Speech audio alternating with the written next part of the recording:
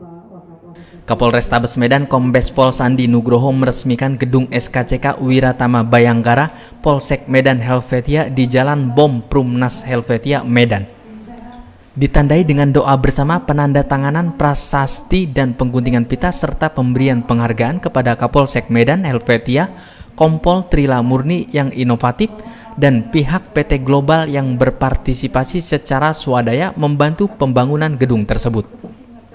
Kombes Pol Sandi Nugroho mengatakan bahwa ini wujud nyata upaya inovatif yang dilakukan oleh Kapolsek Medan Helvetia hendaknya menjadi inspirasi bagi polsek lain untuk melakukan renovasi dan pembenahan Mapolsek seperti juga yang dilakukan Kapolsek Kuta Limbaru.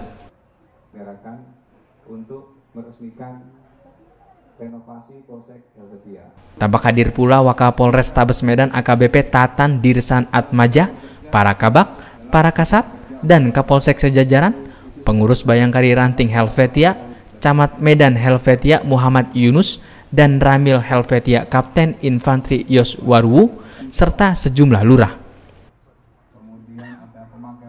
Sebelum Kompol Trila Murni melaporkan, pihaknya secara swadaya menghimpun beberapa rekanan bersama Wakapolsek dan para kanit untuk mewujudkan upaya pembangunan ini.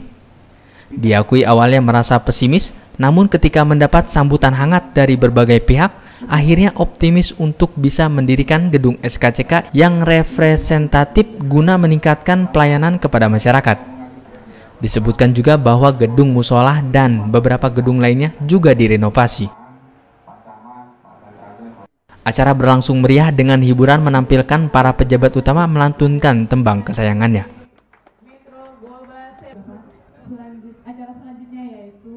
Dari Sumatera Utara, tim Liputan Tribrata TV, salam Tribrata.